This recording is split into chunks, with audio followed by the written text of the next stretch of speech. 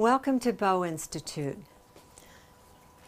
This is Suite 300 entrance, which is more of a spa-like environment.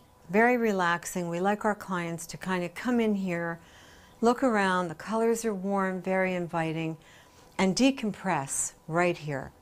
We have the beautiful sound of a fountain trickling down, and we will put the numbing cream on them, give them a chance to unwind, offer them a beverage, have them just sit and read and wait for their appointment. Procedure room one is our main procedure room where we do um, not only procedures but most of the training. Really well lit. We love that. We have great, great natural light in this suite. So we're able to come in here and not only have our client be comfortable and they also have something really fun to look at up there. And here's our work table where we'll put our mannequins and the girls will be able to practice and get acquainted with the machine and the eyebrows and the drawing and begin their training program. And procedure room two, again, extremely well lit, windows wall to wall. Um, a little bit more of an Asian influence, I would say. Very warm, again, very inviting. We tried to really make everybody feel comfortable as soon as they walk in the door. Procedure room three, a little bit, a little bit smaller. We have all natural daylight bulbs in here so we don't get any distortion of color when we're mixing color or even drawing it on. And um, Cozy, Bonnie, my assistant trainer, and uh, she's also a practitioner here, loves working in this room.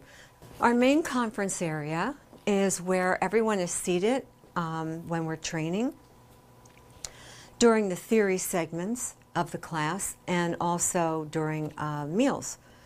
The walls are filled with students. They can see the love of what we do in everything on the walls. We have um, photographs of our, of our graduates, actually our newest edition, which is The Evolution of Women a painting by uh, William Cheval.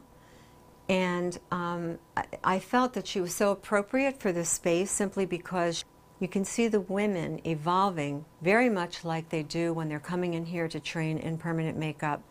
They've already been completely proficient at in another career and now they're coming in to learn something brand new.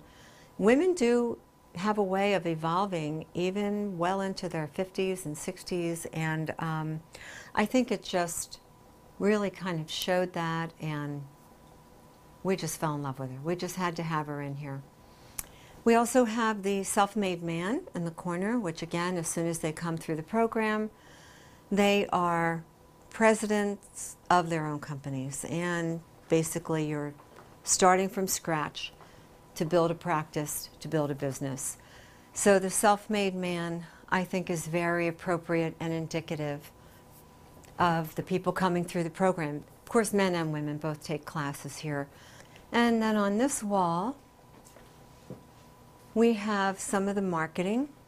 We have a whole marketing segment and we discuss basically how to communicate with editors, how to make a story newsworthy, and ultimately how to preserve that article once, once they do get it. And here's our other entrance, suite 400, so they can actually come in either door. This end's a little bit more hectic. Uh, that's why we kind of established the fountain area. Here's where uh, Danielle and Cindy and Vanessa are all working and answering phones and taking orders and shipping out. So this area is a little bit more hectic, but our busy days we do use both waiting areas. I tend to not buy art randomly. Something has to just, you know, strike a chord and really touch your heart. And uh, the picture with the butterflies is a gift from my sister, actually, and it's called Anything is Possible. And I, it was something that was just simply a poster that I took and had custom mounted and matted and framed. And um, one of those things that inspire me and that uh, I want also to inspire the people that are in the office.